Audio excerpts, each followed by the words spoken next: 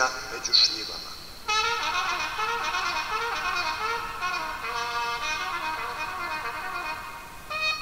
Srbija među šljivama.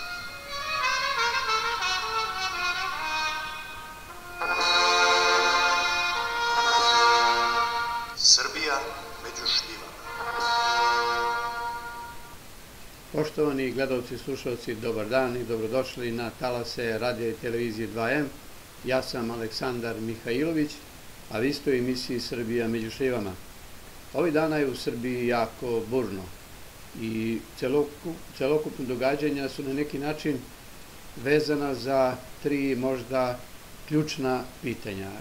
Prvo pitanje koji nešto duže traje, to je protest taksista, sukob sa vladom i sa kompanijom Cargo i pitanje šta će se tu sve događati u ponedljak se najavljuje radikalizacija protesta, blokada i autoputa, policija je to zabranila, do čega će sve to dovesti, veliko je znak pitanja. Nekako isto vreme, dok su trajale te protestne blokade centra Beograda od strane taksista, jer zahtevaju da se uspostavi kontrola nad poslovanjem svih firmi koje se bave prevozom, da sve to bude na zakonu zasnovano, ali očigledno je da tu ima i rupa u zakonu, da tu ima i kršenje zakona, a da ima i raznoraznih balansiranja onih merodavnih za regulisanje tih pitanja, pa idu nekom linijom nezameranja, odnosno podela u samoj vladi. U to vreme je došao i zaslanik Amerike, novo određeni, i to iz Nemačke, da se angažuje oko rešavanja kosmetskog pitanja i na neki način pokazuje aspiracije Amerike da preuzme vodeću ulogu. U takvim uslovima, kada je za javnost nedostupna informacija šta se tačno događalo na tim razgovorima, predsednik Vučić odlazi na izbornu kampanju u Toplički okrug. Dakle, na neki način se država raspada, mnogo toga je u igri, a naš državni vrh ide na izborne kampanje i on je od izbora do izbora u izbornoj kampanji. To naravno narod plaća. To plaćaju i mladi, i porodilje, i penzioneri, i svi zaposleni.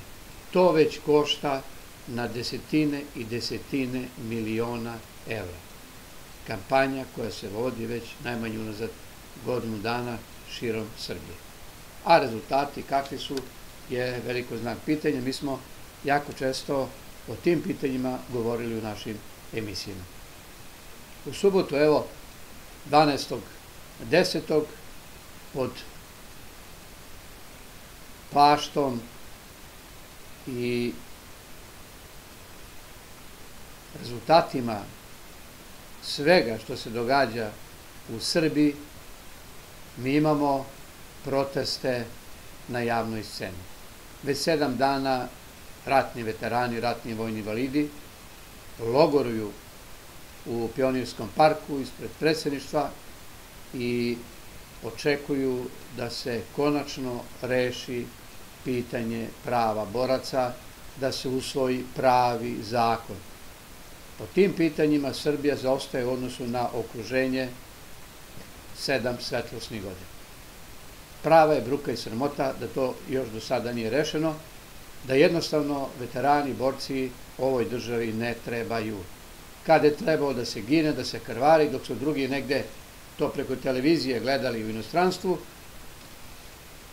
i sada došli da rukovode državom, ima i takvih, ili da sprovode demagoške rasprave i politikanstvo na našoj političkoj pozornici,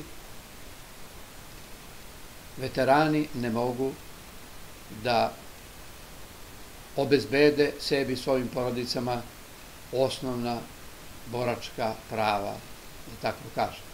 Zakon koji se usvaja, ne usvaja nikakve i niti jedan predlog veterana na kome je rađeno mesecima i mesecima i na svaki mogući način pokušava da napravi razvor među njima, ali i da ih ponizi i da im pokaže da jednostavno ovoj državi ne trebaju.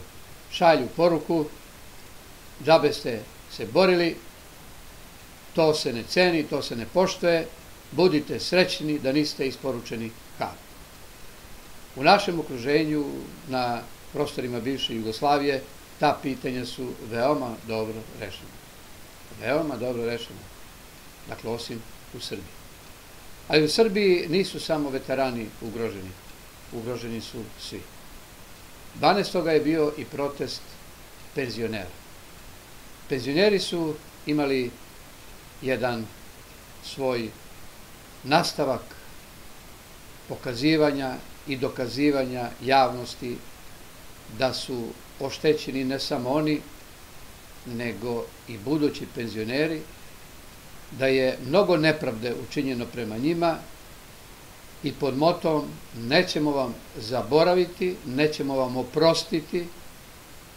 12. je održan javni protest na trgu Nikole Pašića, a zatim i ispred predsedništva kada su se penzioneri i budući penzioneri prisutni na tom protestu, bilo ih je više stotina, pridružili veteranima koji su tu već više od sedam dana. Šta je nateralo penzionere da ponovo izađu na javni protest? Dakle, ovaj protest, za razliku od mnogih prethodnih, se po mnogo čemu razlikuje. Prvo, došao vidite u vreme kada se lome koplja oko države, kada se i tekako u prvi plan izbacuju pitanja koja ukazuju na pravce delovanja i međunarodne javnosti, međunarodne zajednice, pre svega Europske unije i NATO pakta, da se država Srbija razbije, da se trgovcima ljudskih organa Srba na kosmetu da posebna država sa aspiracijama da se ona širi, da bude centar ekstremizma u Evropi. Dakle, to planiraju da nam urade na samoj granici. I u tim uslovima penzioneri shvataju da su decenijama ponižavani, ali da nisu u pitanju samo oni. Da su u pitanju i oni koji tek treba da postanu penzioneri, u ovakvim uslovima je pitanje da li će postati penzioneri. Pa su danas u prvi plan istaknuta neka pitanja šta se to neće oprostiti niti zaboraviti, ali ono što je simptomatično je da poruke predsedniku i vladi nisu hteli da prime. Dakle, administracija u predsedništvu i u vladi nisu htele da prime protestna pisma upućena državnom vrhu. Oni su zavuti izbornom kampanjom, oni su trenutno u Topličkom okrugu, juče su bili u Kovinu i danas predsednik sa govornice poručuje građanima koji nemaju ni lekare, koji su negde otprilike 100 godina uz ostatku u odnosu na život u Beogradu, a 200 godina u odnosu na život u Evropi, da će eto preduzeti neke mere, da se možda lekarima i onima koji su deficitarni kadrovi dati nekih 10% pa da pređu tamo da žive. I to je rešenje. Šta hoće ako im ne odgovara u Beogradu, evo neka dođu u Košumu, neka dođu u Blace, neka dođu u Prokuplje, imaće tu 10% veće plate i onda će biti, biti zadovoljni. Sve se svodi na par. Međutim, nije sve u par. Treba stvoriti uslove za život čitave porodice. Da li će taj lekar da dođe u Blace ili ne znam gde, da porodica ostane u nekom drugom gradu daleko nekoliko stotina kilometara. Ili će da pređe porodica. Ako pređe porodica da bi bila zajedno, moraju da postoje uslovi za život porodice. Za posao supruge, za posao deca ako su velika. Ili škola i sve ostalo ako nisu velika. Dakle, nije samo daj 10% i pređe da živiš negde gde možda nikada ne bi ni pomislio da živi. Dakle, treba obezbediti uslove u svakom kraju Srbije da ljudi iz tih krajeva ne beže.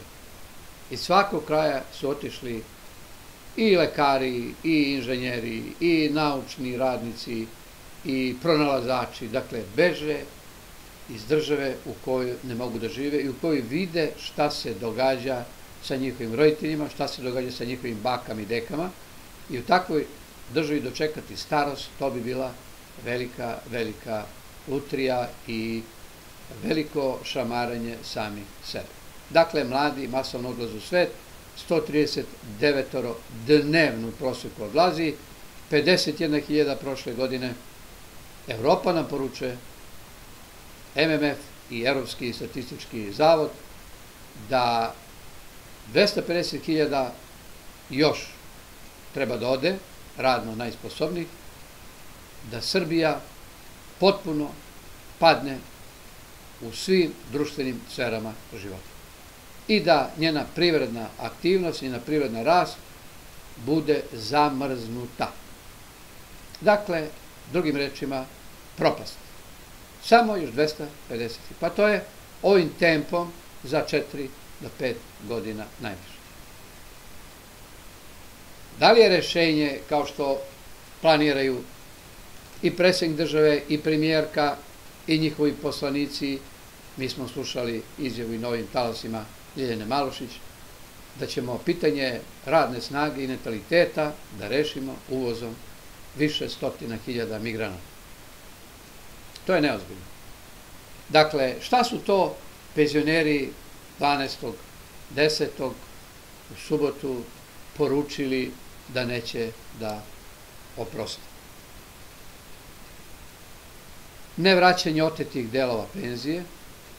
Znamo da je četiri godine odbijano od onih sa preko 25.000 ukupno negde oko 20 miliona evra mesečno, ali plus još 40 miliona evra od svih nenivelisanjem penzija. Drugo što se neće oprositi je okupacija i zlopotreba fonda PIO od strane vlasti. Rasproda imovine fonda PIO u besenje. Upravljanje fondom treba da vrše predstavnici radnika i penzionera, a ne vlada. Vlada je uzurpirala, praktično privatizovala fond PIO koji nije ona oformila, fond PIO su formirali penzioneri, zaposleni još u onoj bivšoj jugi i u svim njenim republikama. Dakle, vlada nije formirala fond PIO i to nije njeno javno preduzeće.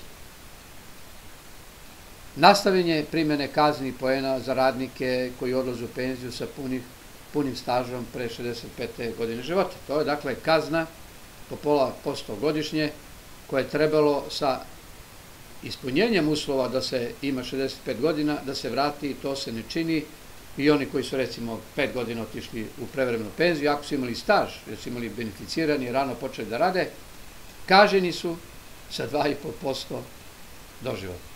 To nije malo kada se sabere za veliki broj godina. Neće se oprositi ni da nema socijalnih karata i posebne socijalni, so, posebni socijalni programi za siromašne građane van fonda PIO. To se sada radi sredstvima iz fonda, što nije ni korektno, ni pošteno, niti ljudski, ni kako hoćete. I napomenuto je na tom skupu da će i novim izmenama zakona o PIO biti pokušaja podvale, a ono se odnosi na jedno diskrecijno pravo direktorke fonda PIO da može svojom odlukom, svojim rešenjem, bez prava na žalbu, da nekome smanji i do trećine penzije. I da na taj način pokriva neke greške samih zaposlenih u fondu PIO kao administracije, kao činovnika. Dakle, fond PIO, penzioneri, plaćaju zaposlene, ali su oni sa vladom jednostavno okupirali fond, privatizovali i to je njihovo, dakle, tretiraju sredstva penzionera, to su njihova sredstva, njihova imovina, kao svoju imovinu i da li će im i koliko dati, zavisi od njihove dobre volje. Dakle, to su pitanja koje su istaknuta na ovom protestu. Nije bio cilj protesta da bude tu na desetine, desetine hiljada ljudi, da se dođe do još jednog blokiranja Beograda, centra Beograda, jako je to bio vikend dan, već da se upute jasne poruke da se javnost upozna sa svim zamkama i prevarama i podvalama koje se rade sa fondom PIO, a preko koga se vrši pokrivanje jako loše, neracionalne i neproduktivne i ekonomske i svekolike politike u Srbiji. Dakle, Srbija je u jednoj fazi praktično opadanja po svim elementima društvenog života, u jednoj fazi stagnacije tamo gde niko drugi ne stagnira i po pitanju rasta, neizvesnosti, perspektivnosti života u njoj. Posebno ako se istraje na pitanjima podele Srbije i uvoza migranata koji treba da joj reše natalitet i problem nedostatka radne snage. Ali ta uvezena migranska, radna i svekolika populacija neće biti ta populacija koja će da puni fond PIO i sve druge fondove, to će biti ona najniže plaćena i jednostavno Srbija će preko toga da se uvede izvanično u red ubedljivo najsiromašnijih država na svetu.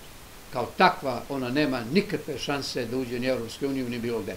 I to je samo jedna opšta varka, jedna prevara da smo mi na putu za Evropsku uniju. Jer to što se radi sa Srbijom, to nema blage veze sa tim putom. Mi jednostavno idemo suprotnim smerom ili paralelnim kolosekom koji vodi na neku drugu stranu ili neka bude i tako slepim kolosekom koji na kraju kada treba da dođemo do fatamorgane za nas od Evropske unije bude zid na kome piše niste na pravom putu. Na pogrešnom ste koloseku. U tim uslovima penzioneri su shvatili da imaju strahovito veliku odgovornost.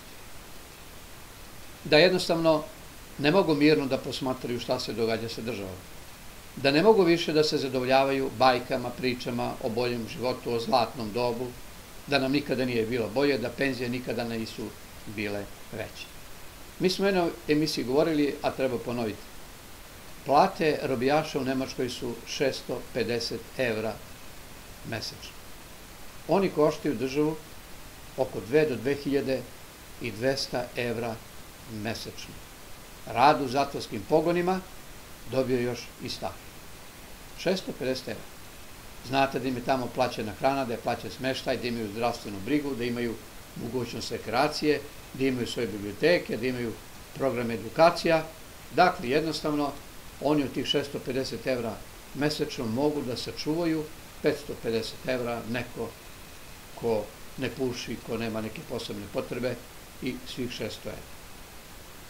I za 40 godina staža taj može da stekne bogatstvo, da napravi kuću, da je savremeno premi, da pokrene neki privatni biznis i da glumi uspešno biznismena, čoveka, čoveka koji je prošao svet, koji može da nam pomogne i u vođenju države, pa će dobiti možda neko njih i neku funkciju u politici u svom kraju ili u samoj republici. I da bude možda i ministar. A on je čitav život proveo po zatvorima.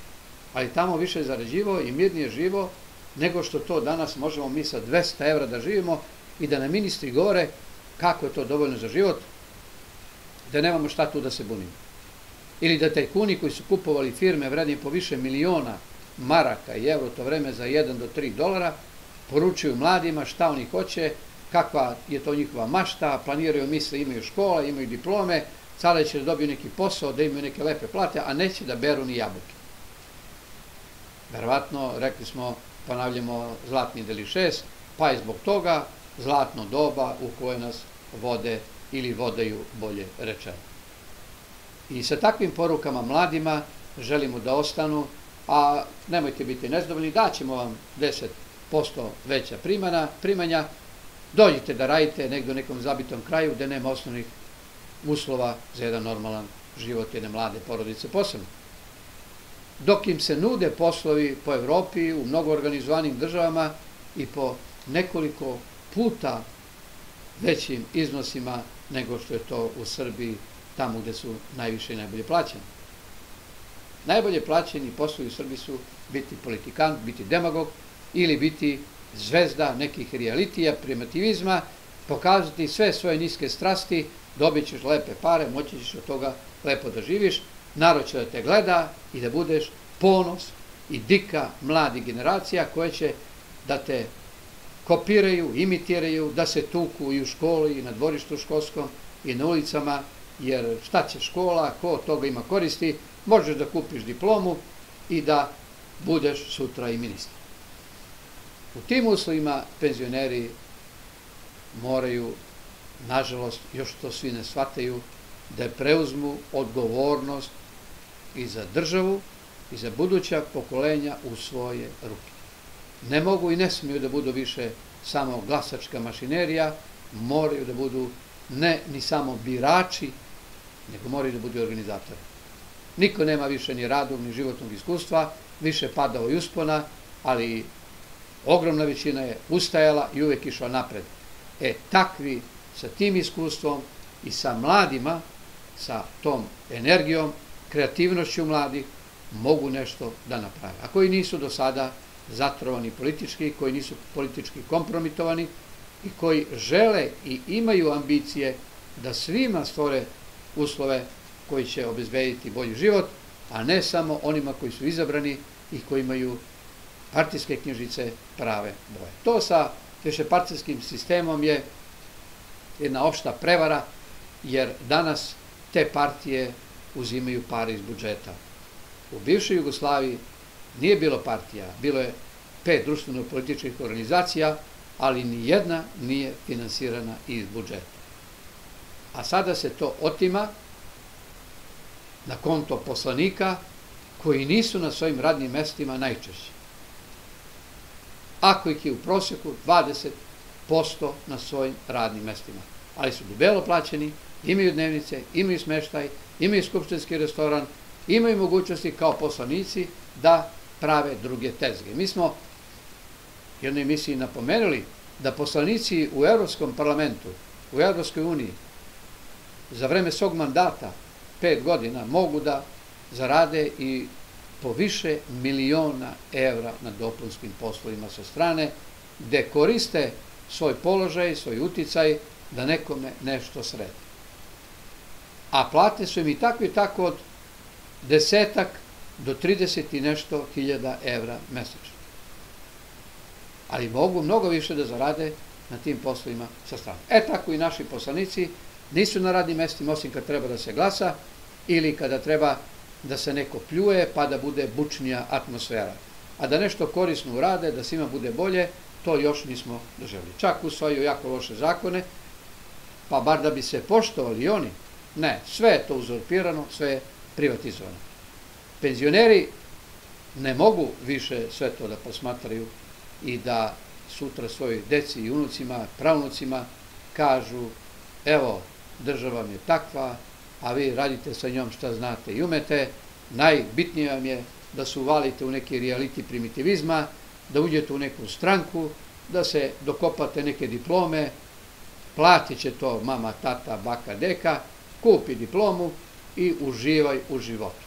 Šta će biti s onima koji ne mogu da kupe diplomu, koji nemaju tati i mame koji mogu to da im obezbede, a mogu da obezbede oni koji su već prošli taj put, onda ili put pod noge, pa u beli svet, ili radite sami sa sobom šta znate i umete. Država nam se prazni, 1200 sela je skoro prazno, u preko 2500 nema ni vrtića, u 300 nema ni prodavnica, u 500 nema ni asfaltnog puta, 200 nemaju ni poštu. To je kao u srednjem veku.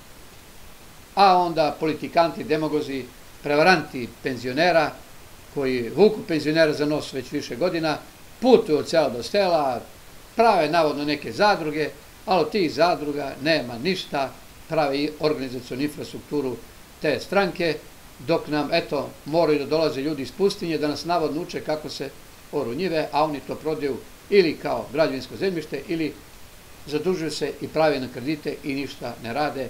Nikakve koristi još od njih nije bilo. I nije od jedne firme koja je dovedena u Srbiju sa strahovito velikim subvencijama, nemamo neke bitne koristi, niti pune fond, nego ga nepresano prazne. Ne mogu čak ni da posluju bez dodatnih i neprestanih kontinuiranih subvencija. I Zastav u Kragovcu, i Jer Srbija, i mnoge, i evo, Galenika, znači sve su to veliki gubitaši i dan danas.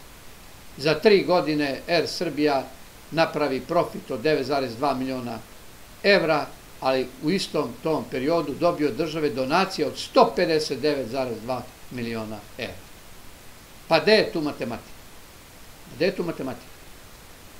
Da bi se sve te pogubne i promašene stvari od strane države, od strane ove vlasti pokrile, najlakše im je bilo pljačkati penzionere. Oni su krotki, oni su pitomi, oni će to da aplaudiraju, da im po neki sendvič, da im po neku flašicu vode, da im neke agit propovce među njih i oni će to da prihvate i shvate kao, eto, spašavaju državu od bankrota. Milijardi i 200 miliona se oprašta najvećem gubitašu javnom preduzeću, državnom javnom preduzeću Srbije gasu i kažu to ne utiče na fond. Pa gde je tih onda milijardi i 200 miliona? Ako treba državu da spašavaju penzioneri sa 20 miliona evra mesečno koje su direktno pljačkali njima od penzije. Plus 40 ne nivelisanjem penzije. Dakle, te bajke više ne prolaze, penzioneri mnogo više umiru nego ranije, od kako je uveden taj sramni zakon, država nema namere da to vrati, 11% je zvanično povećana smrtnost, ali kako se broj penzionera, i mislimo u tom jedinstvenom svetu, smanjuje, smanjuje broj penzionera. Produžen je životni vek. Po toj logici bi trebalo da bude više penzionera svake godine. Nama se broj penzionera smanjuje. A u odnosu na smrtnost, pre toga, 11% je povećano. Kada bi se uzela u obzir i smanjena populacija penzionera, taj procenat je onda mnogo veći u odnosu na samu populaciju.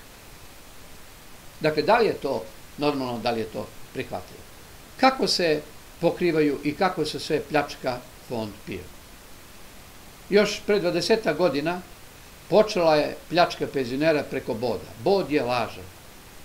Dakle, mi imamo neke bodove i postoji zvanična cifra koliko taj bod vredi, ali on nikada u poslednjih negde 20 godina nije pravilno primenjen. Uvek je za neki dinar manje, a to su po nekoliko hiljada dinara mesečno. Kada je to prošlo i prolazilo, 2004. godine sa izmenama zakona 1. aprila je uveden novi vid reketiranja, a to je ono da će da se preko tih nivelisanja penzija praktično ista uskraćuju. Pa je uveden švajcarski model, pa je onda bilo godišnje četiri nivelisanja, pa je smanjeno na dve, onda ukinuto. I intenzivirano preko boda, lažnog boda. Preko boda do sada od penzionera ukradeno u negdje u prosjeku 22%. Do 25% idu te krađe preko boda. Dakle, za toliko nam je u startu manja penzija.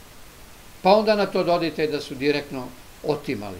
Pa, ako uzmemo obzir da su plate, bar zvanično, proseče plate rasle mnogo više primanja, tu zaostaju penzioneri u pojedinim branšama i do dva do tri puta u povećanju penzije. I sada su penzije negde 49% u odnosu prosek penzije, u odnosu na prosek plata, a trebaju biti 85%. Pa to je skoro za 40%, 36% su penzioneri kraći. Ali država oprašta poreske dugove, ali juri penzionere koji ne plate komunalije, šalje im javni izvršitelje, čak i trudnicama. U Mađarskoj porodilje, ako nemaju rešena stambena pitanja, dobiju dobar deo kredita za stan plaćen od same države.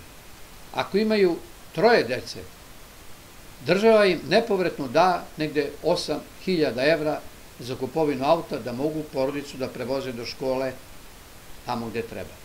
ako imaju četvoro dece.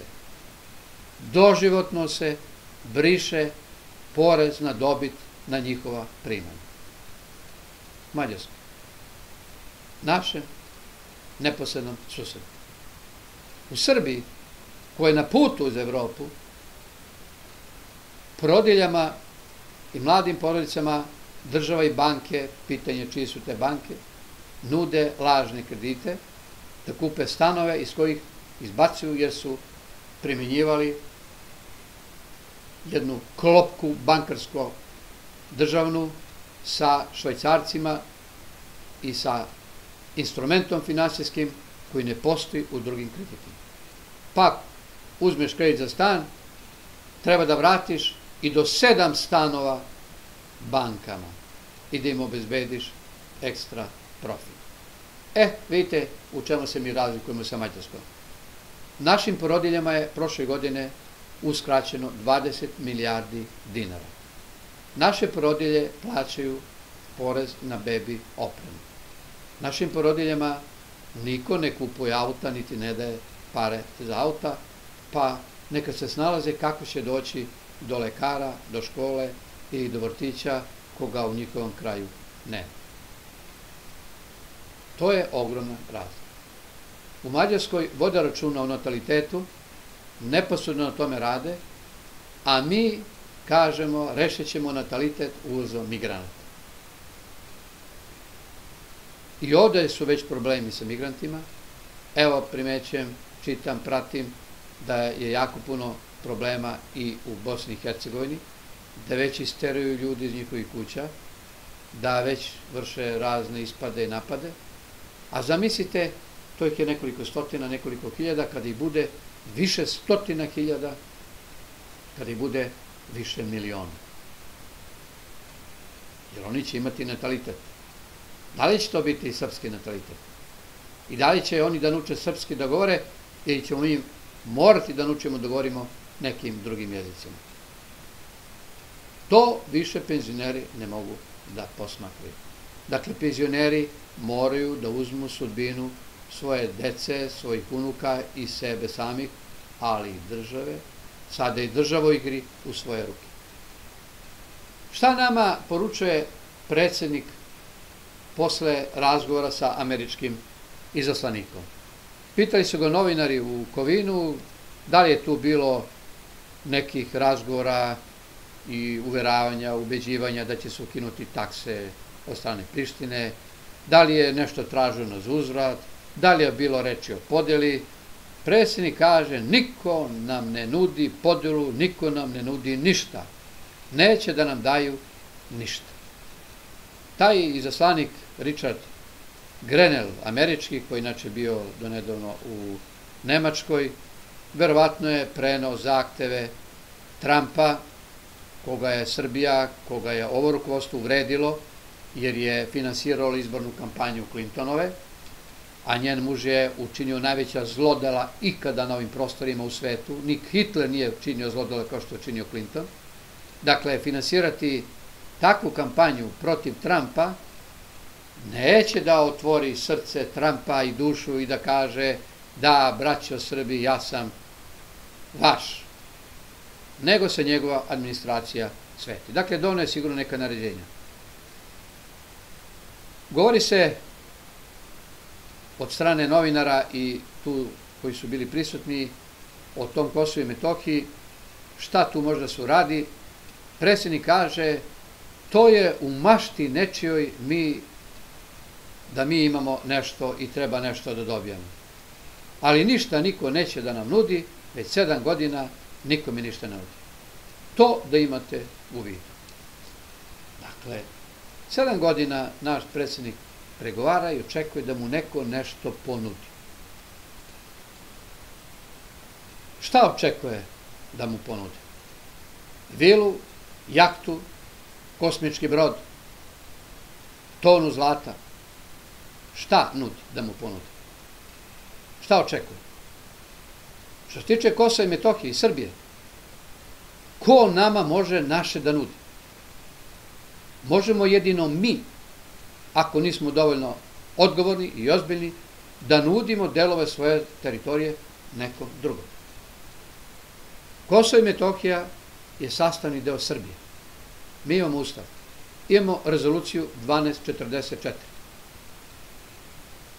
Dakle, nema šta mi sedam godina da očekujemo da nam neko nudi vezano za našu državu. Mi moramo da nudimo i predlažemo. Mi. I da se borimo svim sredstvima za očuvanje Srbije. To je naš dug, obaveza.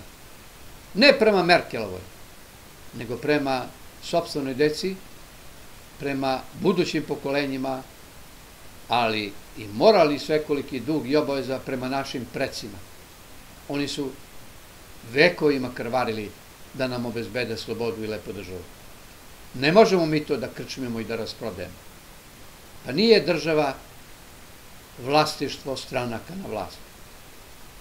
Ne može predsjednik da kaže razmislit ću nekoliko dana, odo ja na izbornu kampanju da obezbedim još jedan mandat, pa će onda da saopštim javnosti o čemu se radi. I šta ću da radim? Ko je njemu dao za pravo da odlučuje o sudbini države, o sudbini svih nas? Ko? O sudbini budućih pokolenja. On je trenutno morao da kaže javnosti koje su ucene, koji uslovi i da sa svim relevantnim faktorima u Srbiji razgovara šta nam je začiniti. On beži od tih razgovora. Beži. Jedino su neke njihove delegacije stranaka na vlasti prihvatile razgovore sa delom opozicije na temu izbornih uslova. Ali to je po najmanje bitno. Ključna pitanja su ona koja su odlučujuća za opstanak Srbije ili ne. Dakle, jedno od pitanja je Kosovo i Metohija. Koji stav ima opozicija, koji stav ima i oni koji su na vlasti, šta kaže na tu temu Ustav, šta kaže rezolucija 1244, ajde da vidimo šta nam je začiniti, šta možemo da ponudimo separatistima, da dobiju jedan visoki stepen autonomije koga nema nigde u svetu, da budu zadovoljni. Da to bude neki kompromis, da imaju nešto što nema niko, da sačuvamo Srbiju.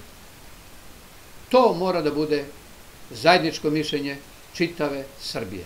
To ne može da bude odluka jednog čoveka koji je uzurpirao i izvršnu, i sudsku, i zakonodavnu vlast. I on će da razmisli i da odluči. U izbornoj kampanji čita 600 strana dnevno, kada će da razmisli i kako će i kakvu odluku, odluku da donese. I mi sada treba da strepimo, da čekamo, da čučimo pored medija elektronskih, kada će se pojaviti, dugo ga nismo videli, da nam kaže šta je odlučio. Ne može to niko na svoju ruku da odlučuje mimo ustava, mimo rezolucije 1244. Mimo volje naroda mimo volje i Srpske pravoslavne crkve i svih drugih verskih zajednica u Srbiji koje žele da se očuva mir. Podala Srbije vodi u građanski rat. Kome to treba? Kome to treba? Ne bi se tu zaustavilo komadanje Srbije samo na Kosovo i Metohiji, bilo kom delu. Tu bi bilo već problem sa Sanđakom i sa Vojvodinom. Sobel je najavio da će da nam otme Vojvodinu, Eno ga Ugljenin već traži Republiku Sanđak. Dakle, nije to slučajno aktiviran Ugljenin sa takvim idejama. Ako dovedamo još imigrante, u stotinama hiljada, milionima sutra, građanski rat nam ne gine. Zašto? Zato što će tu biti veliki problemi, zato što će biti tu mnogo onih kojima su u srcu i kosmetski zavet i rodoljublje i patriotizam i svekolika obaveza prema prošlosti, prema istoriji, prema precima, ali i prema budućnosti. Neće ti savjesni odgovorni dozvoliti da im se država raskomada. Ko bi ih oprao pred istorijom da su prodali državu, da je nisu sačuvali? Ko? A imali su i rezoluciju 1244, iza koje stoji čita svet, Savjet bezbednosti Ujedinjenih nacija, imaju ustav. Imaju svoje ustavne obaveze. Ko? Dakle, ne može niko. U tim uslovima penzioneri su 12. i budući penzioneri zajedno sa veteranima upoznali javnost na koji način se sve pljačka fond, na koji način se pokrivaju gubici i neracionalnost i loša politika koju vodi ova vlast, posebno ekonomska, finansijska i sekulika. Rekli smo da su se penzioneri počeli da pljačkaju pred 20 godina preko boda. Pa kada je to prošlo, 2004. godine to intenzivirano, da bi kulminiralo 2014. godine uvođenjem tog sranog reketaškog zakona kojim je direktno plus od penzija u sva smanjenja i krađe preko boda odbijeno od plata zaposlenima preko 25.000 linara od 10%, a penzionerima i do 25%. Na čijem su im bile penzije opljačkane preko 20%, M do 25% im je otimano direktno od penzije. I to bez rešenja. Nema rešenja. PIO fond je bio dužan na osnovu zakona da donese rešenje. Rešenje daje mogućnost žalbe, daje mogućnost pokretanja upravnog spora, daje mogućnost istarivanja pravde do Strasbura ako treba. Bez rešenja. Dakle, to je nezakonito. To je neustavno. To je kršenje svih konvencija o ljudskim pravima i to je kršenje i članova zakona koji garantuju osnovna ljudska prava građanima Srbije. Članova Ustava. Nije bod jedini. Nije direktno pljačkanje od penzije jedino. Ne nivelisanje penzija u odnosu na rast cena na malo. Pa se taj švaćarski model je davao mogućnost 50% rasta na osnovu inflacije, ako je inflacija 6%, 3%, rasta plata, isto pola tog procenta koliko su plate porasle, ali je to ukinuto. Međutim, to sa platama može da bude i prevarno, jer prosek plata se netačno izračunava. Ali zbog čega je ukinuto uopšte da se, kao što je bilo u početku, penzije usklađuju 100% u odnosu na rast inflacije i 100% u odnosu na rast plata. Jer to praktično s jedne strane obezvređuje taj novac, inflacija, u nominali povećava iznose, ali povećane plate daju veće doprinose i za socijalno i penziono osiguranje. I to je tako i bilo. Ali u tim vremenima nekada nisu na državnoj kasi, na državnim jaslama bile stranke. A onda je rečeno daj dovedamo stranke, to je demokratija, one će da se pljuju po skupštini, one će da se smiruju u skupštinskom restoranu, da uspostavljaju svoje diplomatske međustranačke odnose, ali ćemo penzionere da deremo kojarce. I kada penzioneri počnu da se bune, onda botovi tih na vlasti i oni koji ne shvatiju suštinu problema, kažu šta se bre vi bunite, pa vi ste zaštićeni ko međedi u nacionalnom parku. To je izuzetno neodgovorno i neodgovorno. Međutim, jedna od najbezobzirnijih pljački penzionera i fonda je pljačka nepokretne i pokretne imovine fonda. I u Jugoslaviji i u vreme pre ovih ratova i sankcija penzioni fond se punio mesečno jako puno. Da bi se ta para sačuvala, ona je negde usmeravana. Kupljeni su poslovni prostori koji su trebali najmom, pravo da sačuvaju vrednost fonda, ali najmom da pune fond i da ga oplođuju do te mere da plate i penzije budu jednake ili da budu čak penzije sutra veće. Pa je iz penzionog fonda pozemljivano državi, pa je vraćeno sa nekim prihvatljivim kamatama i tako dalje. 15.153 kvadrata je recimo se vodi posebno prostora ovom našem PIO fondu. Ali to umesto da se daju najam, da se dobijaju stotine hiljada evra mesečno, to se daje džabe prevaranskoj stranci, ono nešto negdje iznajmljuje i zarađuje, a još iz kase penzionera se plaća održavanje. Pa samo direkciju da održavaju, sklopili su ugovor u direktnoj pogodbi na 173 miliona dinara za 1500 kvadrata po 1000 evra po kvadratu, adaptacija prostora, direkcije fonda, bez PDV-a. Dakle, 1200 evra sa PDV-a. A nove stanove država prodaje organima bezbednosti, službama bezbednosti, vojska, policija, organi bezbednosti, raznorazni, 500 evra po kvadratu. A da su kupili dva kvadrata novog prostora nego što za adaptaciju plaća. Ali kad uzimaš iz tuđe kase, onda možeš da se iživljavaš i da svojim nekim stranačkim firmicama koje daju neke donacije, daš pare koliko im treba. E da se tu taleši 20-30%, puna šaka, brat. A puni džepovi par. 5000 kvadrata, pored tih 15.000 što već imaju, koje daju za džabe, iz kase penzionera direkcija plaća za svoje poslovne prostore. Zahvata šakom i kapom i za telefonijade i do 60.000 evra mesečno i po više hiljada evra mesečno za poslovne ručkove. Sve to iz kase penzionera. Primaju plate iz kase penzionera, a ne iz državne kase. I sebi određuju koliko hoće, a penzionerima daju koliko je ostalo. A penzioneri su ti koji pune kasu.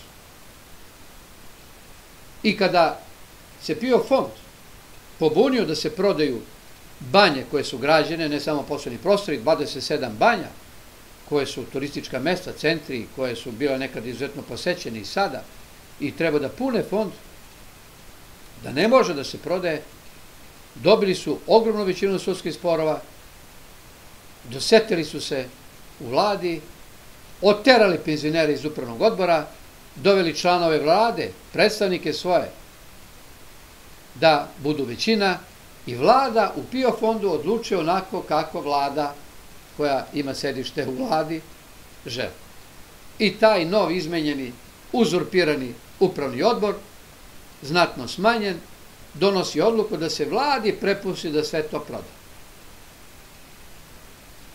Pa onda, vidite, Vranjska banja za svega 236.000 evra, a tu je samo 8 mari najskupljeg, najatraktivnije prostora koje je negde oko, treba da bude nekoliko miliona evra, pa 4000 kvadrata poslovni objekat, zgrada banje, koja se ne računa, nevidljiva je, ako treba i srušit će se da bude samo zemljište. 236.000 evra. Krušumlinska banja, 16.000 kvadrata, kota žubor, 10 pomoćnih objekata. 10 hektara atraktivnog zemljišta. Kuršumlija je proglašena za jednu od sedam najatraktivnijih turističkih destinacija ove godine, pa će imati svetsku reklamu. Prva procena je bila ponuda na tenderu 2,3 miliona, prodato za milioni 415.000 i 836.000 evra, jer niko nije te da se javi, kaže ministar Ljajić. Prodaju koliko dobiju. Pa i lopovi Kada ukradu auto, prodaju koliko dobiju. Kada ukradu zlatninu, koliko dobiju. Kada ukradu umetnička dela, neka koliko dobiju. Nekoliko vredi. Tako se ponaša država prema tuđoj imovini. Umesto da kaže, penzioneri, ovo je vaše, odredite predstavnike za upravni odbor, upravdajte, oplođujte da smanjimo pritisak na budžet. Država namerno radi tako da se obezvredi fond, da nestane, da penzije budu vezane za budžet, da bi ucenjivala penzionera. Moraju onda da glasuju, jer ako ne glasate za nas, kaže Gargamel Krka, onda više nećete ni dobiti penziju. Pa da li može država, vlada da napravi upravni odbor u bilo kojoj banci, u bilo kom osiguravajućem društvu i da njihove pare iz kasa krčmi kako žele? Da li može? Da li može u nekoj velikoj privatnoj firmi da rukovodstvo firme odredi da bude vlada, kada su u pitanju financije. I da onda deli, raspoređuje, rasprodaje kako šta hoće, neko je napravio zgrade, objekte, pogone, ali ti ćeš to da postaviš svoje ljude i ti da prodaš. Tako rade i gangsteri, tako se radi na diljem zapadu. Tako se država ponaša. I da konačno rasproda fond, njoj treba da nema penzionera. I zato radi sve da penzioneri imao teža život, 54% izdržavaju svoju decu i unuke, a niko ne radi, da ne kupuju lekove da bi bilo zunučiće, da umiru više nego što treba i da se praktično smanjuje pritisak na sobstvenu paru od strane penzionera, jer ih više nema. I da se sutra možda i ukine fond, jer više neće biti nikakvih materijalnih dobara, plate će biti minimalci totalni, pogotovo ako se uvezu migranti, to ne puni fond i pitanje onda kakva će biti perspektiva. Dakle, najbolje onda rešenje je podići penzijnu granicu na 70 godina, 75, produženje životni vek, pa onda izvaji celi život, 40-50 godina, a penziju nećeš ni dobiti tako i tako, nećeš ni doživeti. Onda to generiše rad na sivo, sivu ekonomiju, rad na crno, isplate na ruke i onda neko ko je u stvari imao velika primanja, ko je dobro situiran, sutra bude socijalni slučaj, pa još iz kase penzionera rešava i socijalnu problematiku socijalno ugroženih milionera. To je ekonomska politika, to je socijalna politika, to je racionalna politika države koja se hvali rezultatima. A 11% smo u negativnom privrednom rastu. Kažu najveći rast u Evropi, a mi negativni privredni rast imamo. 11%. Bosna i Hercegovina 1% negativni rast. U ovom mileniju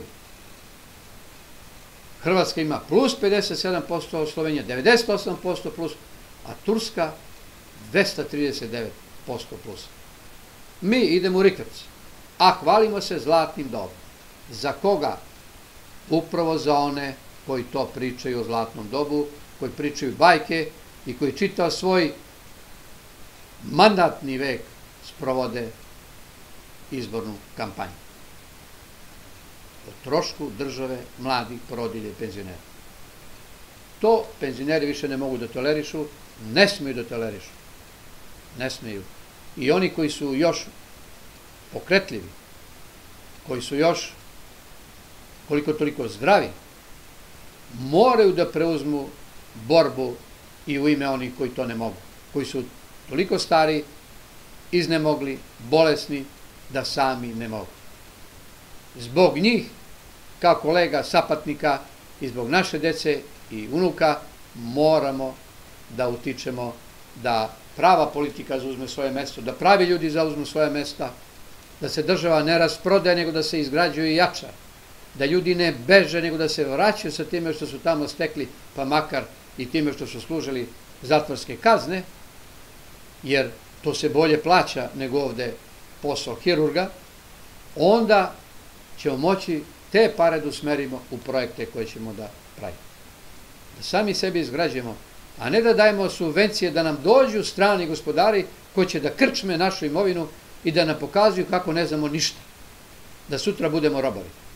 Slovenija zabranjuje i ustavom i prodaju kupovinu izvorišta vode, a mi smo prodali već 80% izvorišta vode. A to je sutra najkurentnija roba koja će biti, za koju će biti nedavno i zlato imati. Voda. Džaba ti zlato i dolari i marke i evri ako nemaš vode za piće. Džaba. Ne možeš rakijom da je zameniš. Ni vino. Osim na svadbi ili na slavi. Poštovani dragi prijatelji penzioneri i budući penzioneri, ovo nisu samo priče radi priča i upozorenja radi upozorenja. Moramo ozbiljno shvatiti situaciju. Naš voz ide pogrešnim kolosekom kao onima koji nas ne vole, koji nas ne cene, koji nam nisu prijatelji. Prijatelji ne komadaju države prijatelja ne truju države prijatelja, ne savjetuju ih pogrešno. A jedan od tih pogrešnih savjeta je upravo i da se podigne starostna granica za penziju. Zašto? Njima treba radne snage, njima je privreda u mnogo većoj ekspanziji i njima stvarno nedostaje radna snaga jer imaju problem bele kuge. Ali, oni nama savjetuju, što uvode kod sebe, a mi mislimo to je dobro, da podižemo granicu jer u tim uslovima mladi moraju da beže, za njih onda nema posla. I ovako nema posla, pa trenutno u Srbiji na birojima, agencijama za zapošljavanje, oko 13.000 i nešto diplomiranih i sa još daljim usavršavanjima, magisterijima i doktoratima mladih ljudi. Preko 13.000. A nama vode ministarstva ljudi sa kupljenim lažnim diplomama ili vode poljoprivredu ljudi koji su sasvim neke druge struke ili o poljoprivredi znaju samo toliko da očitaju vodomer na poljoprivrednom gazinstvu. Da li je to ozbiljno? Da li to vodi stvarno u progres? Pa zašto mi onda zaostajemo? Pa sve su kod nas zauzeli nekompetentni stranački kadrovi. Zato javna preduzeća propadaju. Nestručni ljudi ih vode. Zato se nama kadrima koju smo napravili i radili je mesecima, pola godine, raspada drugi dan. Pa i to smo rekonstruisali, treći dan ponovo moramo. Zato što to rade analfabete, to rade nekompetentni. Dovedemo 100, 200, 300 ljudi sa stranačkih lista u neku firmu, javno preduzeće, da bude ne plati, istrpimo tu firmu, pojedemo njeno osnovno telo i osnovna sredstva i onda proglasimo stečaj, prodamo stranim gospodarima. Da oni otpuste tih par stotina. Kako može Srbija da kaže Er Srbija će biti motorna snaga, zamajac naše ekonomije, a ona daje 50 miliona evra godišnje donacije da bi mogli da opstanu. Onda bolje da su te pare ostale u fondu. Da nismo ni imali kompaniju. Eno, slovenečka aviokompanija koja je u Evropskoj uniji, koja ima mnogo veći prirodni rast od nas, gase svoju aviokompaniju. Jeftinije da se voze drugim avionima. A mi, eto, hoćemo da imamo, to je popularno, moderno, ono što nema i drugi, davat ćemo im po 500, po 50 miliona evra, penzioneri su tu, uzet ćemo iz njihove kase, ako nam treba za izbore, test, pokazali smo jednoj emisiji. Akt ministarstva nadležnog 208,5 miliona da se da za kupovinu praktično 13.900 glasova, navodno za beogradske izbore, socijalna pomoć socijalno ugroženima po 15.000, a plaćali su glas po 2.000, 13.000 zadržavali za sebe. Na sve moguće načine se pljačka fond. I hoće da nas ubede kako imaju dobru volju, pa nam daju iz budžeta. Pa ne trebaju da nam daju iz budžeta. Neka nam vrate šta su opljačkali, neka vrate penzionere, predstavnike penzionera, koje oni odrede da rukovode upravnim odborom i fondom i vidjet ćete da će on biti oplođen, da će biti bogati i da će penzije da budu mnogo, mnogo veće. A ne socijalna kategorija. A država nema socijalni program, nema socijalne karte. Kako je to moguće? Nije uredila pitanje ovo veterana, sve su druge države uredile. I to lepo uredile.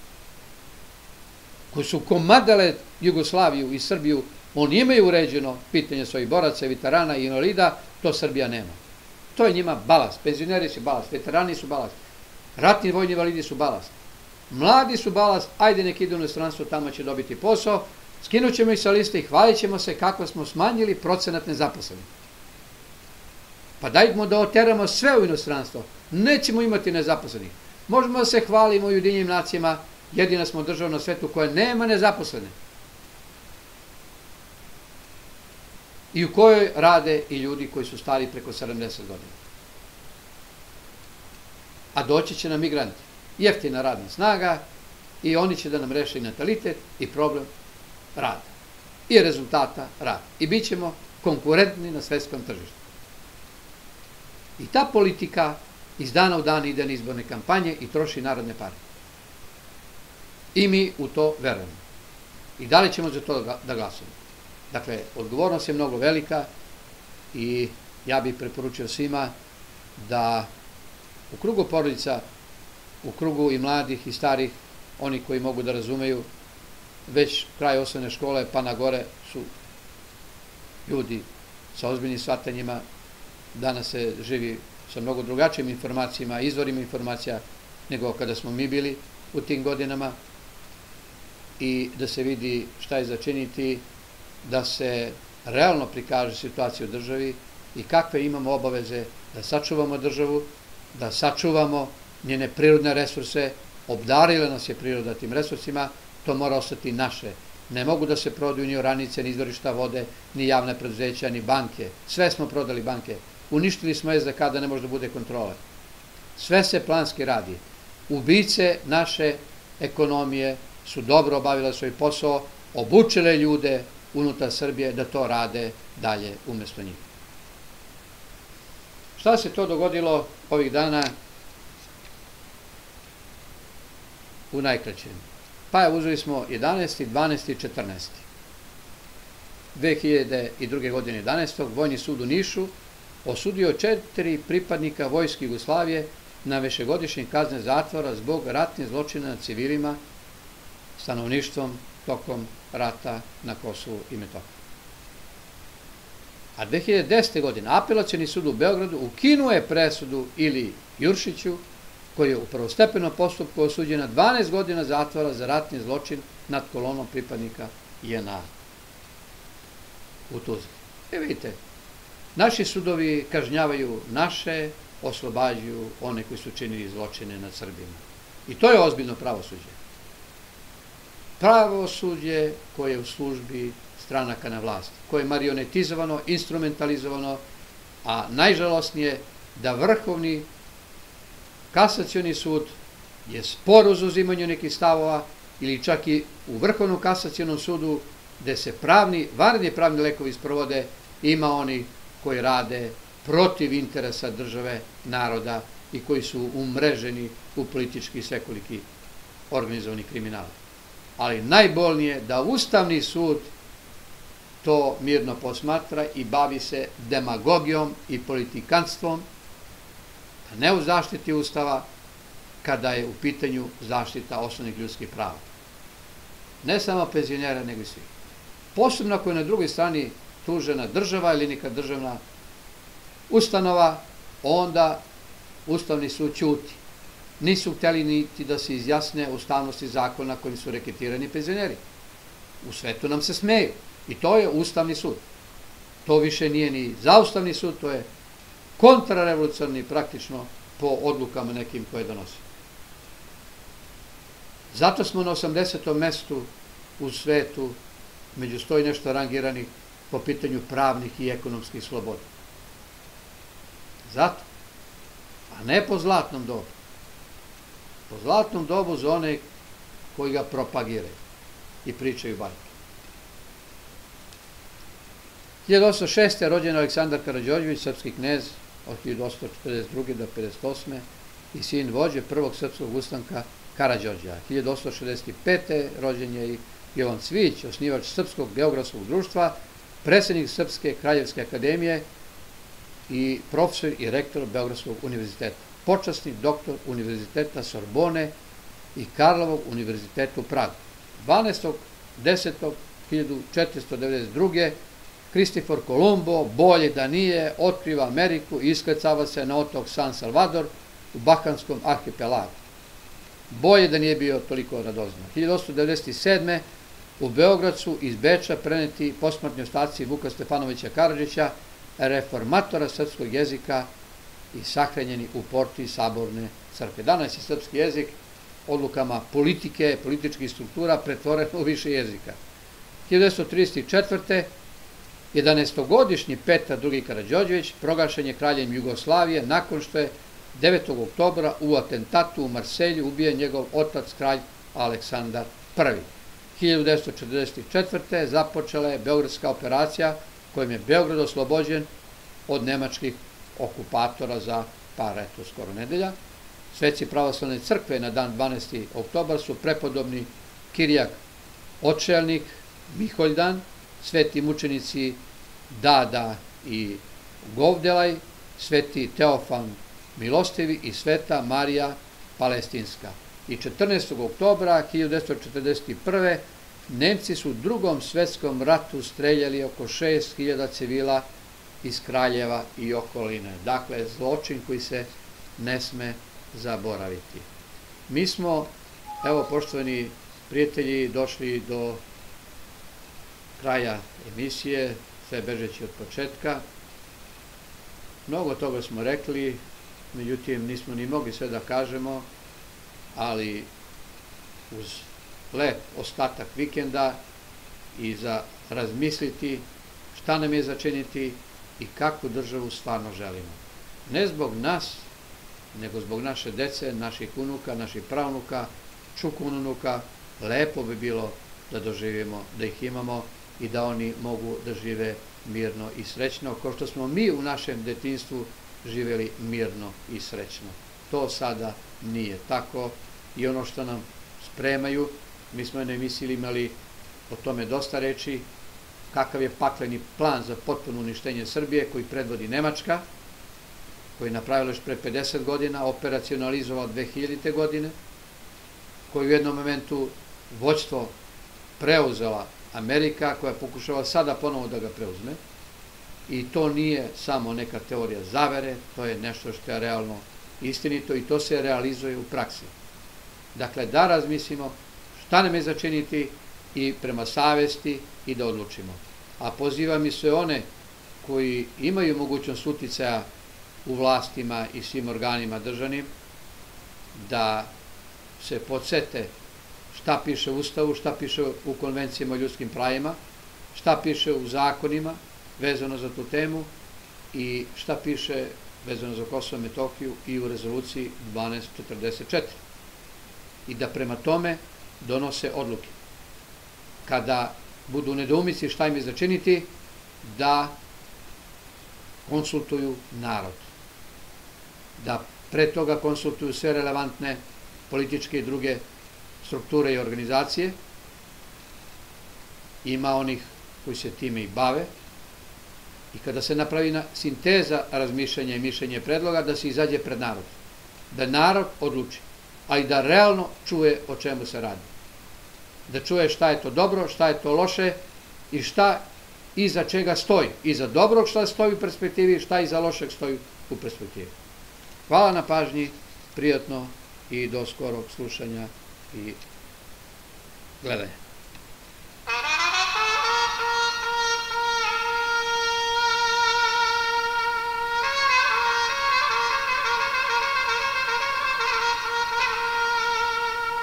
Srbija među šljivama.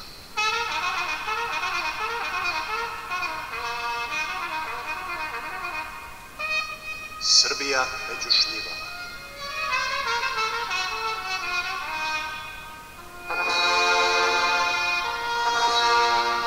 Srbija.